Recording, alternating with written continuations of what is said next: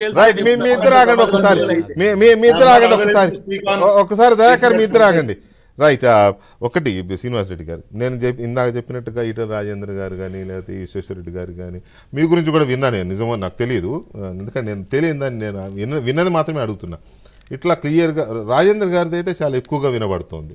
దాని గురించి ఏంటి? తర్వాత ఇప్పుడు ఆయన అన్న కేసీఆర్ గారు గజ్వేల్ నుంచి చేయడనో అసలు చేయడనో ఏదో రెండు రెండు చెప్తున్నాను సో దాని మీద మీ మీ ఒపీనియన్ ఏంటి? కంక్లూజన్ ఒకటండి ఇప్పుడు ఎలక్షన్ టైం స్టార్ట్ అయింది నేను చెప్తాను. కదా. ఇప్పుడు అందరికీ కూడా ఏదో ఒక వ్యాపకం కావాలి. ఊహాజనితమైన ఇష్యూస్ అనేకం ఈరోజు ప్రజల మధ్యలోకి వస్తాయి.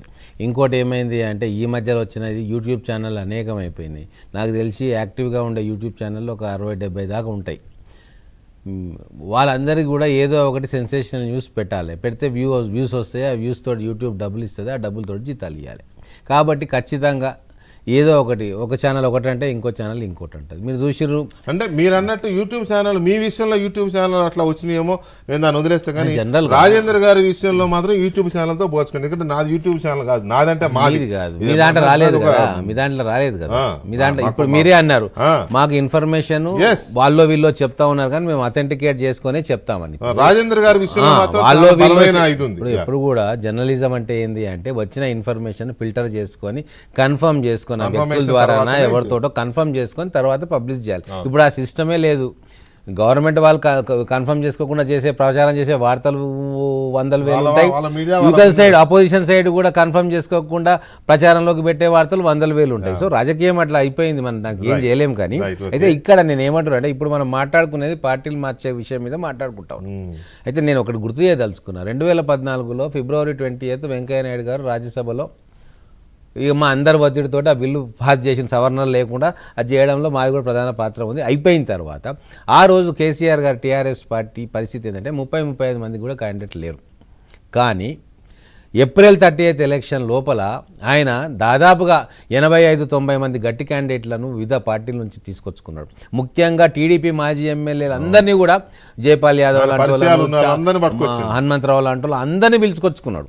అంటే నేను అనేది ఎలక్షన్ జోన్కి వచ్చిన తర్వాత ఎలక్షన్ జోన్లోకి ఎంటర్ అయిపోయిన తర్వాత ఎవరు ఎటు పోతారో ఎవరు ఎవరు తీసుకుంటారో ఎవరు ఎందుకు మారుతారో అని కూడా తెలియని పరిస్థితి వస్తుంది. కర్ణాటకలో మీరు చూసినారు ముఖ్యమంత్రులే పార్టీలు మారినరు ఉప ముఖ్యమంత్రులు పార్టీలు మారినరు. కాబట్టి మీరు స్పెక్యులేట్ చేయమాకండి. ఫలానా వాళ్ళు వస్తున్నారనో ఫలానా వాళ్ళు రావట్లేదనో.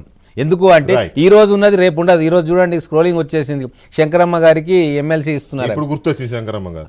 అంద- అందుకే అంటున్నా. శంకరమ్మ గారు ఇప్పుడు శ్రీధర్ రెడ్డి గారితో నేను ఏకీభవిస్తా. కేసీఆర్ అనే వ్యక్తి మామూలు వ్యక్తి కాదు.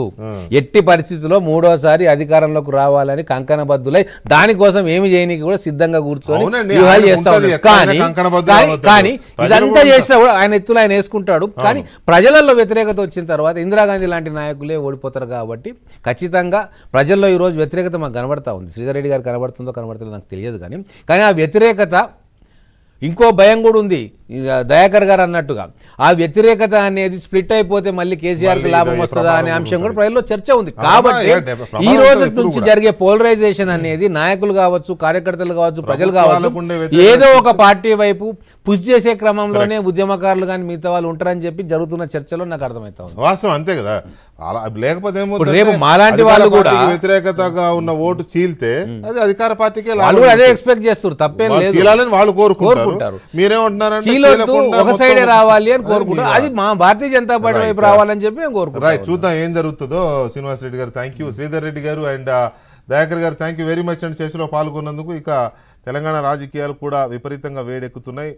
ఆ, ఏం జరుగుతుందో చూద్దాం. ఇది వాళ్ళ డిబేట్ మళ్ళీ రేపు కలుద్దాం. శుభరాత్రి.